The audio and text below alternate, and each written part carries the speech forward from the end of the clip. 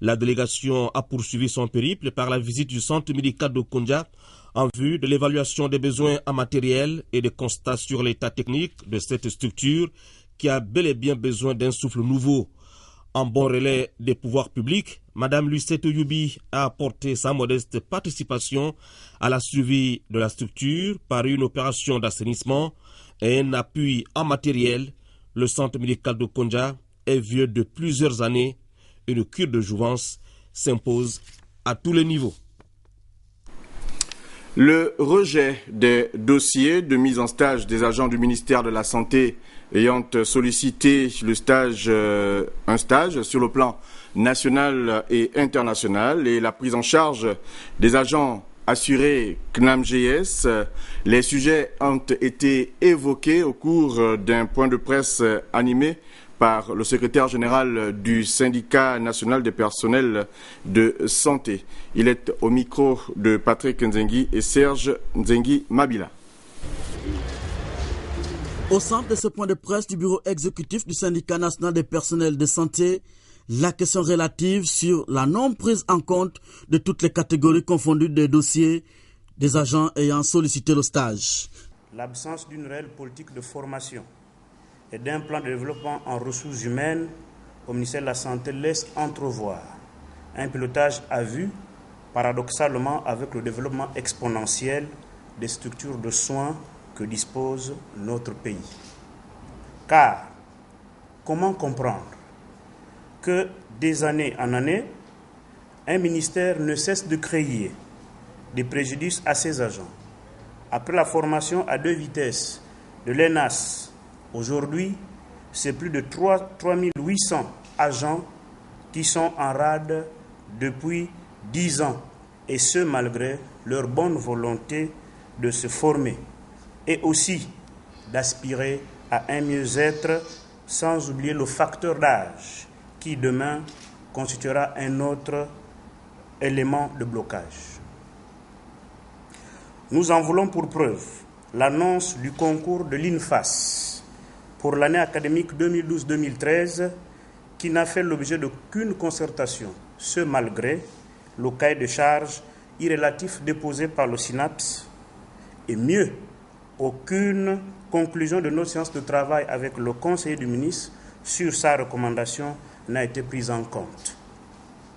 À cet effet, le SYNAPS invite la direction de l'INFAS, la direction générale des ressources humaines et le cabinet à revoir au mieux le quota de candidats et d'insérer la filière d'hygiène publique et d'assainissement pour régler le souci de formation qu'ils avaient créé. Le SYNAPS sollicite avant la prochaine commission du mois de septembre une rencontre tripartite à laquelle prendront part le ministère de la Santé, celui de la fonction publique et les responsables des écoles de management du Gabon. Dans votre euh, agenda, retenez donc euh, ce programme de la tournée provinciale du ministre de l'Éducation nationale et de l'enseignement supérieur à l'occasion du séminaire de formation multidimensionnelle et d'échange édition 2012. Donc euh, demain, samedi 1er septembre 2012, visite des chantiers en cours et échange avec les enseignants. 9h, 11h, site lycée technique national Omar Bongo, visite des chantiers échange avec les enseignants. 11h30, 13h30, site Université des sciences de la santé, visite des chantiers, échange avec les enseignants. 14h, 16h, site lycée Paul Injenje Ngunju, visite du chantier, échange avec les enseignants. Et puis 16h15, 18h15, site du lycée national Léomba. Là-bas aussi, visite de chantier et échange avec les enseignants. Par ailleurs, le directeur général de l'école nationale de la magistrature porte à la connaissance des candidats au concours d'entrée dans cet établissement prévu les 1er et 2 septembre 2012 que les universitaires des sciences de l'organisation, école donc de secrétariat, USO, située en face de Estefo, au lieu donc de l'université Omar Bongo, comme précédemment annoncé. Nous reprenons donc euh, cette information euh, très importante. Le directeur général de l'École nationale de la magistrature porte à la connaissance des candidats au concours d'entrée dans cet établissement prévu du 1er au 2 septembre 2012 que les épreuves écrites d'admissibilité se dérouleront à l'Institut universitaire des sciences de l'organisation, situé en face du carrefour Estefo, au lieu de l'université Omar Bongo, comme précédemment annoncé. On parle de cette tombée de rideau sur l'atelier national pour la gouvernance des produits chimiques. Après deux jours de travaux, les experts ont formulé des recommandations parmi lesquelles la création d'un centre national anti-poison fonctionnel et opérationnel. Les détails avec nos reporters Rodolphe Mukambi Boma et Serge Zengi Mabila.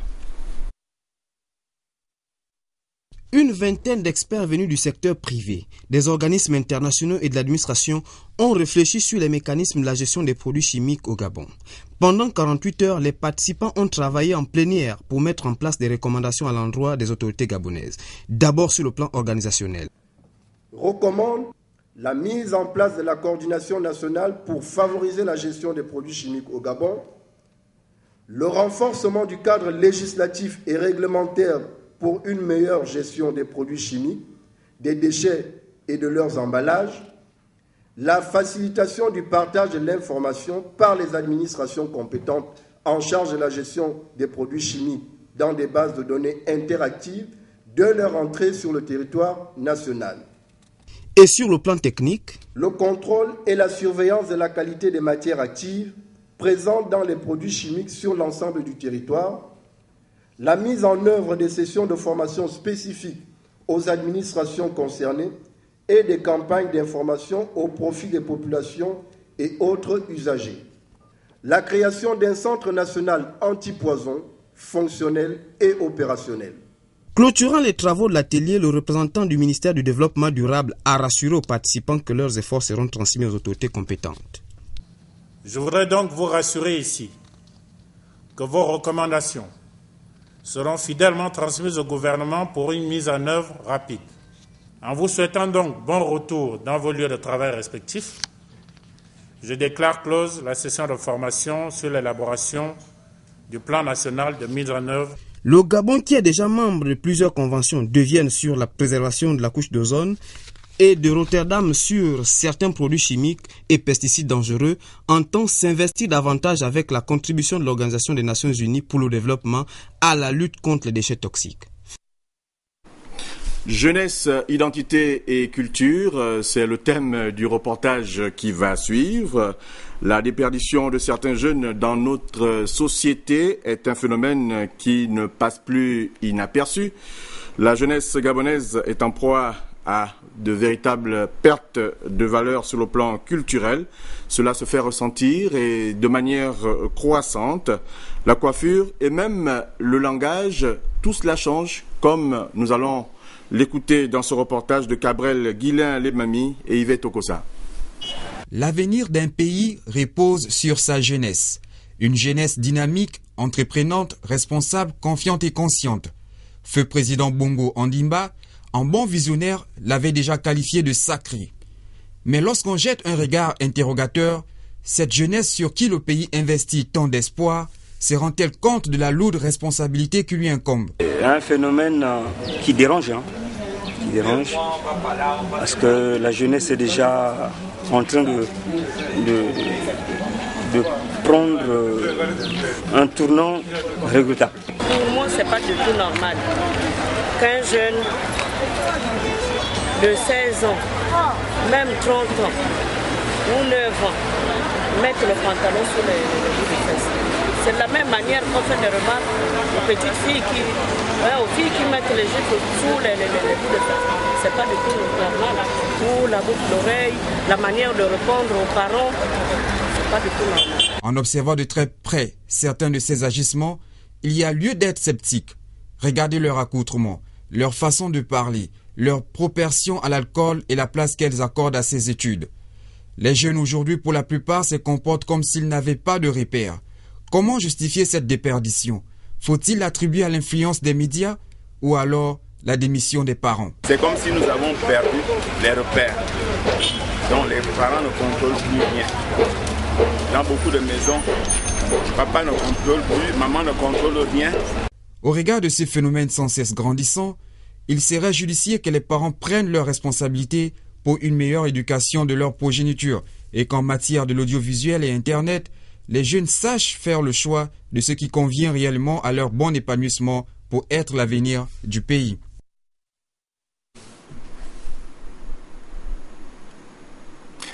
Nous restons dans le même registre pour euh, parler des messages véhiculés par certains chanteurs, notamment les rappeurs, euh, qui sont de plus en plus décriés par les parents. Pour euh, beaucoup, les titres de ces chansons contiennent des paroles qui portent atteinte à la pudeur et sont à même de pervertir notre jeunesse. Nous allons voir tout cela avec Wivin Ovandang et Yvette Okosa. Les messages véhiculés à l'endroit de la jeunesse gabonaise par leurs idoles de la musique. La musique et par ricochet les thèmes qu'on y aborde sont un pont de la culture d'une nation et reflètent par conséquent les réalités de celle-ci. Fort est cependant de constater que la musique gabonaise, notre musique, tend à ne plus être en phase avec notre culture. Une situation que déplorent nombre de parents. Nous, au Gabon, on a la pudeur à respecter, on a la personnalité à respecter. Le Gabonais n'aime pas ce qui frustre. Vous êtes avec votre belle-mère et euh, vous avez un morceau qui passe à la télévision ou à la radio et puis ça fait mal.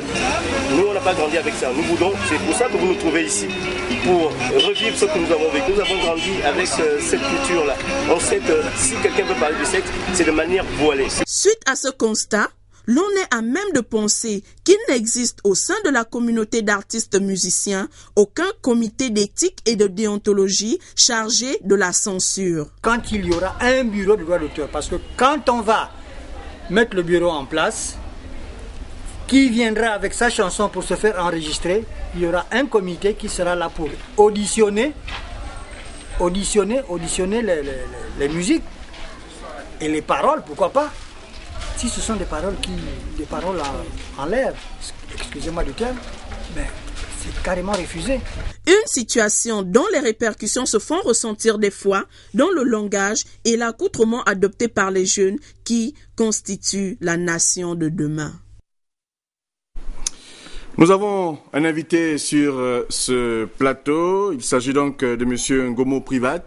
Il est euh, le promoteur d'une bande dessinée qui va donc euh, parler, du moins, euh, d'une vette.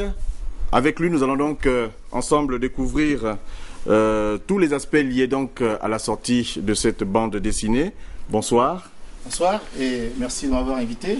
Alors, dites-nous pourquoi le choix d'un support comme celui-là, la bande dessinée, pour parler d'une vette Oui, mais avant, permettez-moi d'abord de remercier toutes les personnes de bonne volonté et talentueuses qui ont participé à la réalisation de ce projet inédit, à la fois culturel et artistique. C'est donc une œuvre collective dont je ne suis pour l'heure que le modeste porte-parole. Euh, ceci dit, nous avons voulu mettre l'image, le dessin, l'illustration au cœur de notre stratégie de conservation et de revalorisation de la culture africaine. Mhm. Et en l'espèce, il s'agit de la culture du peuple haïon, du peuple écan. Certains diraient Fan, mais en fait, Fan, c'est un sous-groupe. Le cadre plus général, c'est le peuple haïon ou bien le peuple écan. Et donc, pendant près de 9 ans, une équipe s'est mobilisée pour illustrer pour la première fois la première bande dessinée de Mvoroyon. Cette bande dessinée, c'est Alumund Domingo, du maître conteur Bomeko Bikoro Emmanuel, qui est décédé dans les années 60. Donc nous avons voulu mettre au goût du jour ces traditions qui parfois sont assez obscures ou ardues pour les, pour les plus jeunes. Mais comme l'image est sensible aussi bien aux, aux enfants qui ne savent pas lire, mais également aux anciens qui, dans l'image, vont retrouver leur culture,